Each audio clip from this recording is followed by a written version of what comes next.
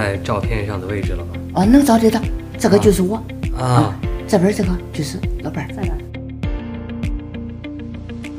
走进后八里沟村，随处可见孝善文化两创的元素。孝善文化不仅走进了村民的生活，更是融入了村民的内心。这个十多年来啊，我们村这个孝善这个情况是越来越深入人心，家家户户都把孝敬老人不是坐在面上，而是深入人心。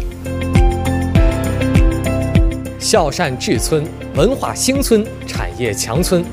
后八里沟村以优秀传统文化两创为重要抓手，将传统文化与村民治理和村庄发展深度融合，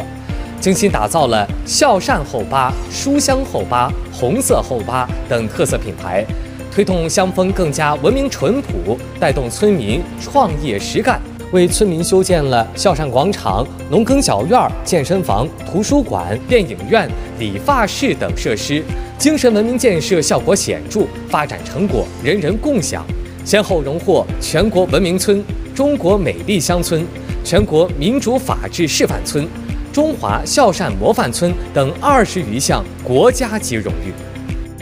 作为孟子故里，后八里沟村孝善文化源远流长，我们就从弘扬孝善文化入手，打破村庄的落后现状。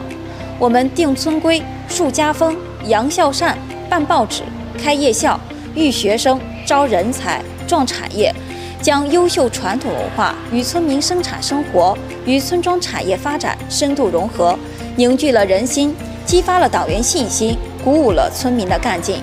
让一个负债二十余万元的穷村、乱村、落后村，完成向文明村、富裕村的华丽蝶变，实现了物质文明和精神文明的双富裕。